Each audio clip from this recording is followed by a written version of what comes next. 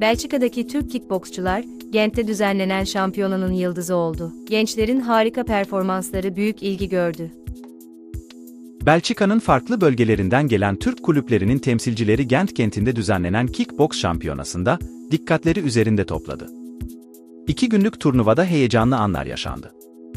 Charlero'dan Osman Yün, Anvers'ten Murat Direkçi, Beringen'den Murat Yazgan, Korsel'den Ali Cenk ve Heustenzolder'den Akın Duran'ın öğrencileri, ringdeki yetenekleri ile izleyicileri büyüledi. Karşılaşmalarda sporcuların yanı sıra antrenörler ve seyircilerin de büyük heyecan yaşadığı görüldü.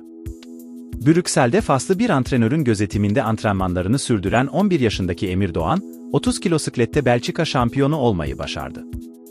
Rakiplerini tek tek yenerek ilk kez Belçika şampiyonu unvanını kazanan Doğan, altın madalyayı alarak sevdiklerini de gururlandırdı.